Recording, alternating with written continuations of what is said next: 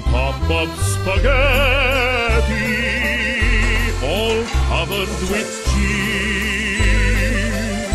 I lost my poor meatball when somebody sneezed. It rolled off the table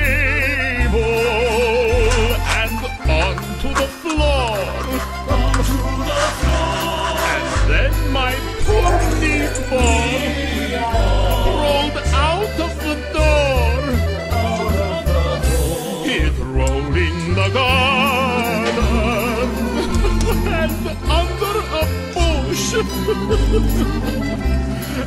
then my poor Milo was nothing but mush.